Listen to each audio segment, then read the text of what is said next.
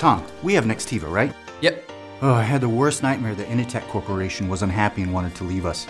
Could you find an application that will work with Nextiva to summarize all our customer interactions, good or bad, over the last three months? But Nextiva already does that. What do you mean? With Nextiva, we see the whole story of our customers, and not just a snapshot. Automated surveys measure the quality of interactions, and sentiment trends track how happy our customers are over time. It basically turns me into a mind reader when I talk to our customers. Great, so I just need to look up our sentiment scores and see how we're doing. Wait, you can't read my mind, can you? No, Dave, of course not.